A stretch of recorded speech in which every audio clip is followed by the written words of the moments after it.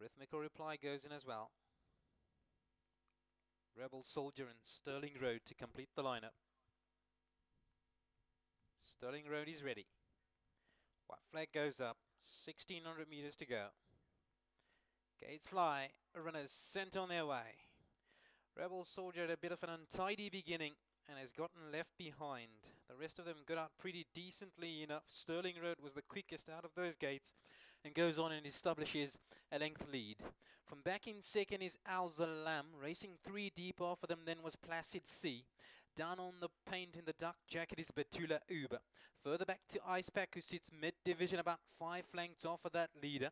Then came Red Savage. Towards the back of the field, then is Ladies First. Races alongside Rhythmical Reply. They passed the thousand meter mark and out Sterling Road in front by half a length. From back in second is Alzalam. Down in behind those then was Betula Uber. Racing him too wide off of that one then was Placid Sea. And behind those is Ice Pack, then further back to Red Savage. Dropping back at the back of the field is Rhythmical Reply and Ladies First as they corner home right-handed. They'll have 600 meters to go. Sterling Road is the leader by a lead and a half.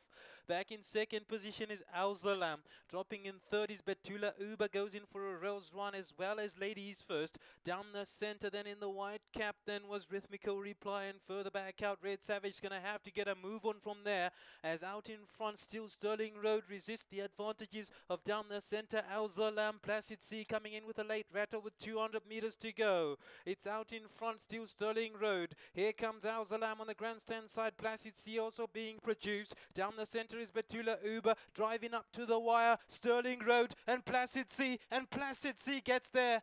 And behind that in second position then was Sterling Road. Third will go to Alzalam.